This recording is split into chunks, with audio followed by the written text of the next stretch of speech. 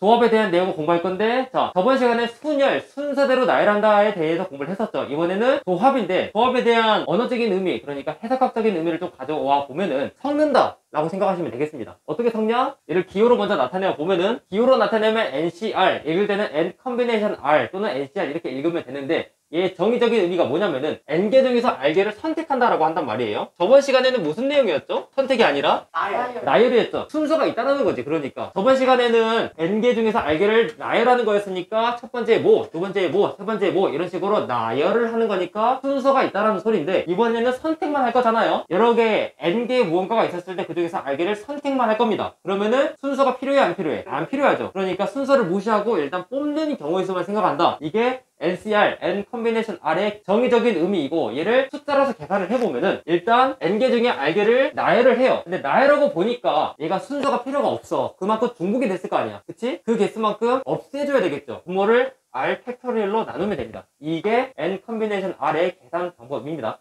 오케이? 예시를 좀 잠깐 들어줄게요. 만약에 4개의 숫자가 있어가지고 그 중에서 두 개를 선택해서 나열한다라고 할게요. 그러니까 숫자가 1, 2, 3, 4 이렇게 있다라고 해봐요. 이걸로 만들 수 있는 두 자릿수 개수를 물어보는 거지. 개수를 한번 세어보니까 이렇게 가지고 모두 12개가 되겠지. 4 곱하기 3 해가지고 12개가 되겠죠? 이게 4 permutation 2를 계산한 결과인데 만약에 너희들한테 4 combination 2를 물어봐. 4개 중에서 두 개를 선택만 하는 거예요. 그러면은 순서가 필요해 안 필요해? 안 필요하죠. 안 필요하니까 뭐가 뭐가 지워지나 12랑 21이 같으니까 지워지고 13과 31이 같으니까 지워지고 이런 식으로 지워지는 거를 다 지워보면은 이렇게 6개가 지워지게 되죠. 근데 6개가 지워진 게 아니라 중복된 개수가 2개니까 2배로 약분된다 라고 생각하시면 되겠습니다. 그래서 이 계산 결과는 4 permutation 2에서 2로 나눠주면 되겠지. 이런 식으로 문제를 풀면 되겠습니다. 여기까지 이해 안 되는 거 있습니까? 2개였으니까 2로 나누는 거고 만약에 너희들한테 4 combination 3 같은 걸 물어보면은 아 그럼 이 선생님 얘는 그쵸 계산 결과는 4긴 한데 4 permutation 3을 계산한 다음에 3으로만 나누면 되나요? 라고 물어볼 수도 있단 말이에요. 근데 3으로 나누는 게 아니라 여기서는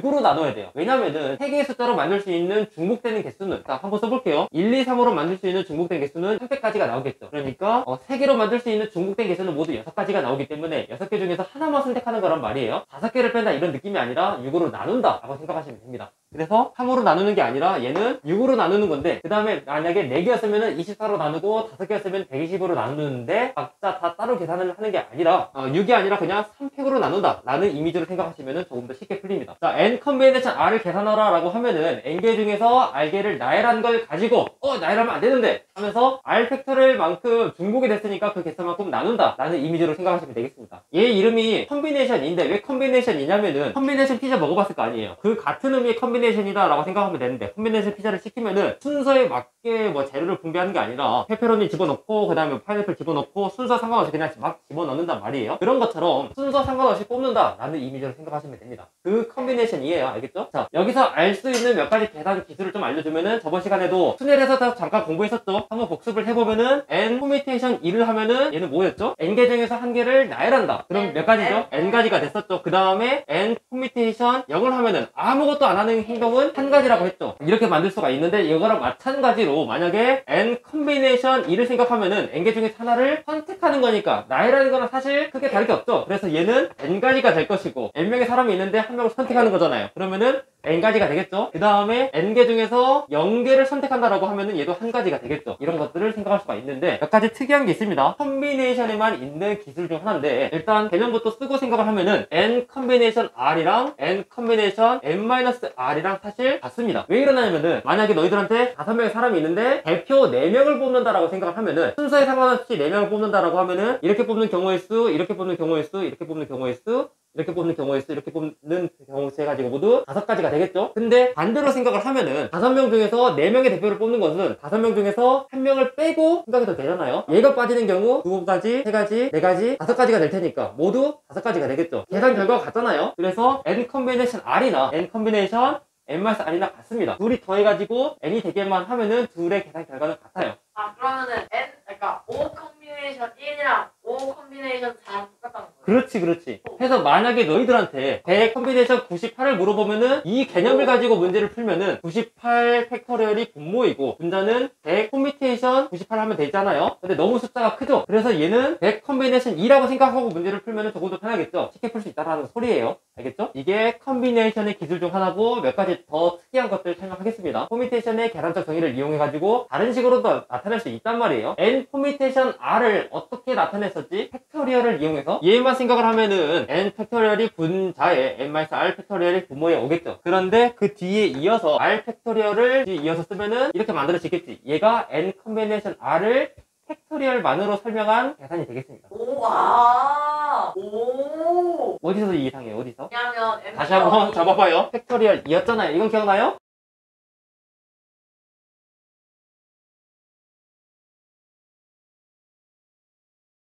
됐어요? 오케이. 그래서 이거를 이용해서도 n combination r이 n combination n-r이랑 같다라는 것도 증명이 가능하죠. 중심을 어디다 두느냐에 따라서 문제 쓸 수가 있습니다. 됐죠? 이거를 가지고 n combination r은 n-1 combination r-1 플러스 n-1 combination r이 될 텐데 이게 왜 됐는지 계산적으로 먼저 보여주고 그 다음에 개념적으로도 알려줄게요. 알겠죠? 얘를 factorial을 이용해서 나타내어 보면은 r팩, n-r팩 분의 n팩이 될 것이고 그 다음에 얘도 한번 나타내어 보면은 이렇게 정리를 할 수가 있겠죠? 그쵸? 이게 정말로 되는지 한번 확인을 해보면은 계산을 같게 하기 위해서 통분하기 위해서 뭔가를 곱할 겁니다. 자 여기는 r, n-r 이렇게 이쁘게 써져 있잖아요. 근데 얘는 n-r은 있는데 r팩이 아니죠? 얘를 맞춰주기 위해서 여기다가는 r 정도를 곱해주면 되겠지. 통분하는 느낌으로 됐죠? 그 다음에 여기는 R팩은 있는데 n-R팩이 없죠. 얘를 만들어주기 위해서 여기다가 n-R을 곱해주고 분자에다가도 n-R을 곱해주면 되겠죠. 그러면은 생각해보니까 얘는 R, R-1부터 쭈르륵 곱해진 거니까 R팩이 될 것이고 얘는 n-R factorial 그대로 있죠. 그 다음에 여기는 R팩이 그대로 있고 n-R, n-R-1부터 쭈르륵 곱해지게 될 테니까 이 둘이 곱해서 n-R factorial 될 것이고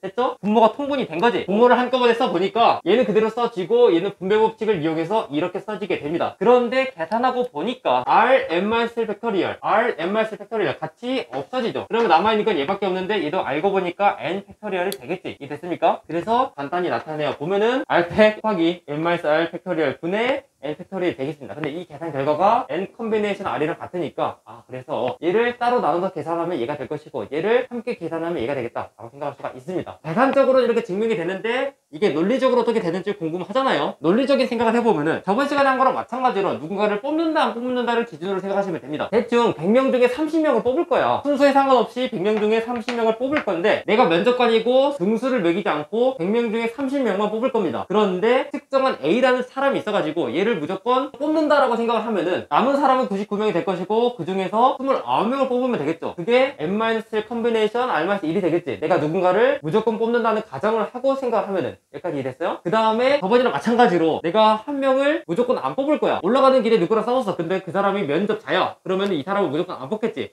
얘를 버리는데 버리면서 나머지 30명은 뽑아야 되니까 99명 중에서 30명을 뽑는 거죠. 그게 n-1 combination r이 되겠죠. 이 개념을 생각하면은 A를 무조건 뽑는 경우 A를 무조건 안 뽑는 경우로 나눠서 생각하면은 이 둘이 더 있을 때 A가 뽑히든 안 뽑히든 함께 계산하면 이런 경우가 만들어지겠지. 이렇게 계산하고 이렇게 논리적으로 생각하시면 되겠습니다. 됐죠? 만약에 서로 다른 빵이 각기 다른 빵이 9개가 있는데 얘를 세 바구니에 나눌 거예요. 그러면은 첫 번째 바구니에 한 개, 두 번째 바구니에 한 개, 세 번째 바구니에 7개를 놔둬도 되고 그 다음에 첫 번째 바구니에 뭐 3개, 3개, 3개 놔둬도 되잖아요. 그렇게 했었을 때 분할할 수 있는 개수는 모두 몇 개냐? 이런 걸 물어보는 겁니다. 종류가 정말 많죠. 그러니까 한 개 한 개 일곱 개 나누는 경우, 한 개 두 개 여섯 개 나누는 경우 얘를 가지고 먼저 알려준 다음에 계산이 어떻게 되느냐, 공식이 어떻게 되느냐를 알려드리겠습니다. 아홉 개 중에서 첫 번째 바구니에 들어갈 사람 해가지고 골라야 될 거 아니에요. 그쵸? 아홉 개 중에 하나를 골라야 되니까 걔가 9 콤비네이션 1이 되겠지. 하나를 집어넣었어. 나머지 빵이 여덟 개가 남아있죠. 여덟 개 중에서 두 번째 바구니에 들어갈 사람 해가지고 하나를 골라야 되겠죠. 그래서 곱하기 8 combination 1이 되겠습니다. 그 다음에 나머지 일곱 개 중에서 세 번째 바구니에 들어갈 사람 해가지고 일곱 가지를 골라야 되니까 걔는 몇 combination 몇이 될까요? 7 combination 7이 되겠죠. 얘를 계산하면은 1, 1, 7로 분할할 수 있는 가지수가 나오게 되는데 첫 번째 바구니에 집어넣나 두 번째 바구니에 집어넣나 똑같잖아요 사실. 만약에 A랑 B라는 빵이 있었는데 첫 번째 바구니랑 두 번째 바구니가 있는데 A, B를 집어넣든 B, A를 집어넣든 사실 자리만 바꾸면 똑같아지는 거니까 무시가 되게 그 개수만큼 중복된 개수만큼 나눠줘야 됩니다. 지금 두 개가 중복이 됐기 때문에 2 fac으로 나눠줘야 돼요. 이래야만 정확한 계산이 나옵니다. 감잡기 약간 어렵죠? 이거 고난이도 문제 중에 하나입니다. 왜냐면 잡아봐요. A부터 I까지 이런 이름을 가진 빵이 있다라고 해봐요. 오케이?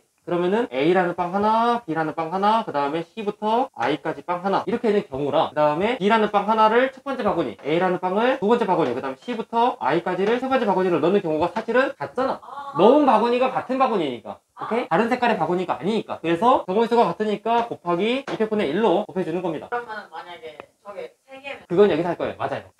벌써 이 공부를 하는 순간, 일을 공부하는 순간 2, 3, 4가 생각이 나는 천재적인 발상. 좋습니다. 이런 계산으로 만들어지는 거고, 세 개 다 다르면은 나눠주지 않아도 된단 말이에요. 자, 한번 말해보세요. 한 개, 두 개, 여섯 개로 분할을 할 거야. 아홉 개 중에서 첫 번째 바구니 들어갈 빵 해가지고 하나를 고를 거야. 뭐라고 계산하면 될까요? 그치? 두 combination 1을 하면 되고, 자, 두 번째 바구니 들어갈 빵 해가지고 골라야 될거 아니야. 몇 개를 고르면 될까요? 그치? 왜냐면은 남아있는 여덟 개 중에서 두 개를 고르기만 하면 되겠죠. 그 다음에는 남아있는 여섯 개 중에서 여섯 개를 고르면 되니까 이만큼 계산하면 되는데 중복된 개수가 없죠. 첫 번째 바구니랑 두 번째 바구니랑 개수가 다르니까 나눠주지 않아도 됩니다. 그 다음에 이거 한번 생각해 볼게요. 첫 번째 바구니 들어갈 빵 해가지고 몇 개를 고르면 될까요? 두 컨비네이션 3이 될 것이고 두 번째 바구니 들어갈 빵 해가지고 고를 수 있는 가지수가 몇 가지가 될까요? 6 combination 3이 될 것이고 세 번째 바구니 들어갈 빵 해가지고 고르는 경우수가 몇 가지가 될까요? 3 combination 3이 되겠죠. 전부 다 선택하는 경우수니까 1이 맞긴 합니다. 하지만 세 개가 중복이 됐잖아요. 첫 번째 바구니, 두 번째 바구니, 세 번째 바구니 어디다 집어넣든 경우수가 다 중복이 되기 때문에 그만큼 나눠줘야 되겠지. 그래서 3 fac분의 1로 곱해주면 되겠습 니다. 3 fac으로 나눠주면 되는 거예요. 이해됐습니까? 이런 계산을 토대로 생각을 하면은